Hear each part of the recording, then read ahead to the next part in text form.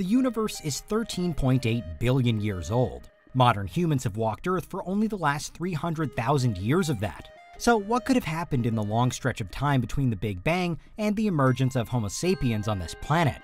There's a lot that we know and a lot that we don't, but some theories bridge the gap in more unusual ways than others. This is Unveiled, and today we're answering the extraordinary question Are there ancient humans living in the Milky Way? Are you a fiend for facts? Are you constantly curious? Then why not subscribe to Unveiled for more clips like this one and ring the bell for more fascinating content? A headline making study in June 2020 claimed that there could be dozens of alien civilizations living in our galaxy, the Milky Way. 36 was the most often cited figure, although the upper estimate went past 200. That's 200 individual alien societies reportedly living on our doorstep, in cosmological terms.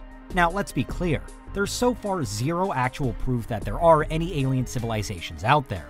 The general scientific consensus is that there must be, but we've so far found nothing by way of hard, irrefutable evidence. The Fermi paradox continues to plague our search for extraterrestrial life. The 2020 study, though, was inspired by various projections and predictions, including the Drake equation. Its claim of 36 neighboring alien groups has since been debated and disputed.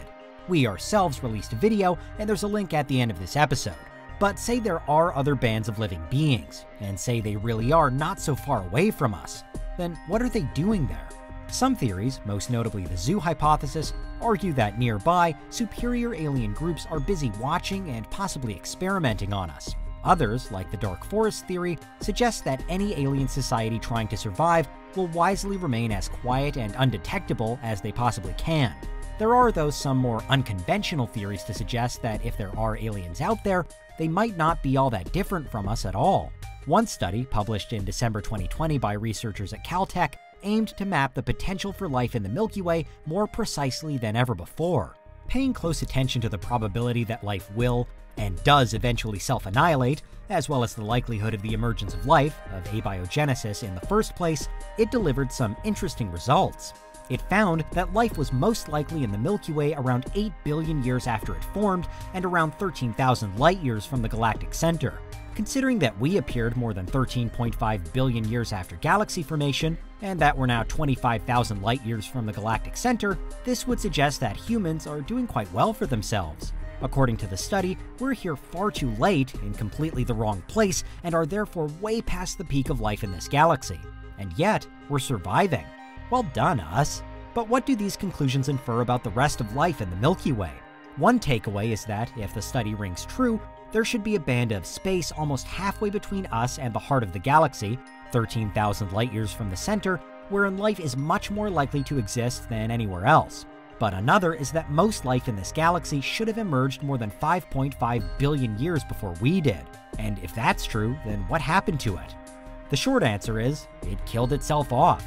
The Caltech study highlights the key role self annihilation likely plays in how far any civilization can reasonably spread. Away from the study, the general idea is that all life dies before it gets big enough to be noticed. The slightly frightening assumption, then, is that the same thing will happen to human beings. That we'll only ever get so far before we destroy ourselves from within. But still, if even just one such civilization did manage to survive, then they would certainly be considered ancient to our lowly minds recorded human history barely goes back five and a half thousand years, but now we're imagining life that's five and a half billion years old. Not that such a hypothetical life form should ever automatically be billed as ancient human, even if we could prove that it exists. The chances of anything else separately evolving to be even slightly recognizably similar to us are extremely low. The aliens we see in movies and read about in books are all too often humanoid in nature, with eyes and hands and heads and some kind of audio language. But in reality, they'd probably look nothing like us, and according to some theories, might not even be carbon based. The picture gets a little stranger though when ideas on panspermia get thrown into the mix. Subscribers to various ancient alien theories argue that biological material could have been distributed all across the universe in the time since its inception. That we think we're rare on Earth, but that actually we're just one of countless locations that life has reached. And this is what panspermia amounts to the spreading of life throughout the cosmos, usually via space dust, asteroids, and colliding planets. Directed panspermia, though, brings a degree of agency to the table. The idea now being that life is deliberately spread to other worlds by advanced traveling alien species. Again, there's little by way of credible mainstream science to suggest that this is what actually happened here on Earth. But with such a long time gap to fill between the start of this planet and the start of humankind on this planet, fringe theories abound that ancient humans either seeded here or arrived and settled here millions or billions of years ago. In this version of life, the universe, and everything, it's as though we're a colony established in the distant past by an older, more advanced version of ourselves.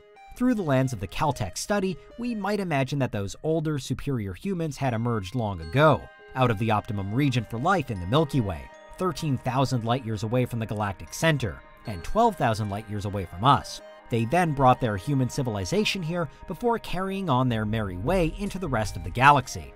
But one final consideration for today's question is what if we aren't the product of panspermia, but we're actually the ones facilitating it?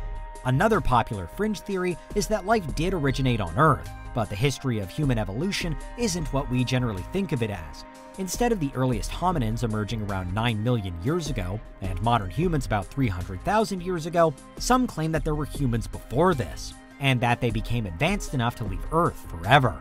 Importantly, there is, again, precious little scientific or historical evidence that this really is the case. It's an idea, an unsubstantiated theory, but one that's captured the imagination of many a science fiction writer before now. Again, it allows us to imagine that the Milky Way is actually full of life, perhaps boasting far more than just the 36 civilizations suggested by the June 2020 study. Only in this version of events, many of those could be our ancestors. It's just that they started on Earth and then set off to the stars, just as we're trying to do today.